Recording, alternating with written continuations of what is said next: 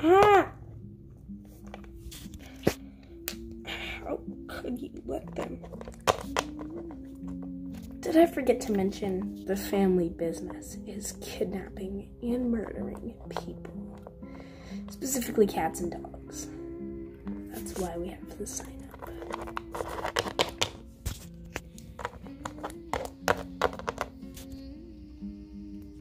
Now, the code means for everyone to go grab the bag.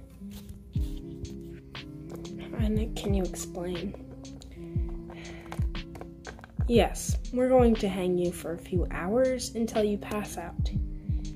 Then, once you pass out, we will put you with the rest. And, um, well, eventually you'll die. If you wake up, you'll just be dying of hunger and thirst anything possibly. Yep, and that'll actually really add to my collection of stuffed animals. And I don't mean toys, I mean actual animals. No, how could you ever possibly do this? You're so cruel. Soon we're gonna get everyone at that diner they're all gonna be our victims. Oh, and you just need to rest. Put her in. No! That solves all our problems. it was only a dream. I never want to have that dream again. But I'm glad that wasn't real.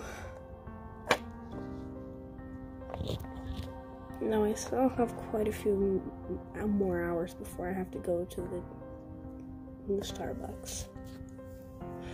If I'm going to be going, that is. I, I don't want to take my chances. I'm still gonna go because it was only a dream. Wait, or did I somehow make it back? Whatever. Ugh. Oh, I came looking for you. I'm surprised I'm saying this, but I'm glad to see you. Yeah. Was that all a dream, or did you actually. No, no, that was all a dream of yours. Um, but I'm here to say everything's safe. You can go to your friend. Um, that dream was really weird, but you shouldn't listen to it. Don't let it impact your day. Okay, bye. Oh, dang it. I'll see you later. Okay, so he does disappear. Man. What?